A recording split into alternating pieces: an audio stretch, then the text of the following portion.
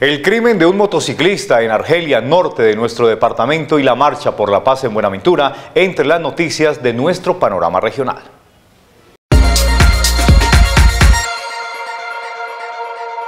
Las autoridades en el norte del valle adelantan las pesquisas que les permita esclarecer el paradero del presunto homicida de Manuel Salvador Ceballos, asesinado cuando se desplazaba a bordo de una motocicleta en la vía que de Argelia conduce al municipio de Anserma Nuevo.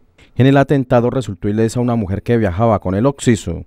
La víctima natural de Cartago residía desde hace varios meses en el municipio de Argelia.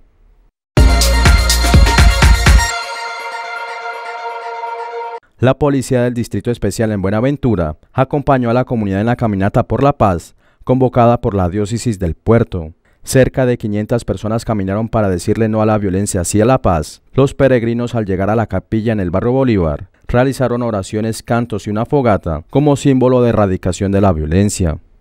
No más pérdida de vidas humanas, la, tranquilidad que para esta época de Navidad queremos todos es la que queremos eh, invitar a todo el pueblo bonaerense que a partir de hoy empecemos a luchar por esa paz. Buenaventura se lo merece y en esta época prenavideña es un gran aporte para este pueblo que tanto ha sufrido la violencia eh, por parte de estos grupos que, repito, son minoría.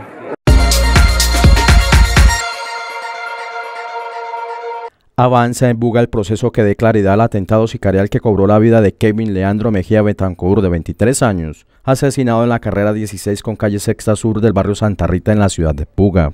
En el atentado resultó lesionado otro hombre identificado como Andrés Fernando Vélez Lemus. Las unidades del CTI de la Fiscalía con sede en la ciudad Señora adelantaron el levantamiento del cuerpo de la víctima.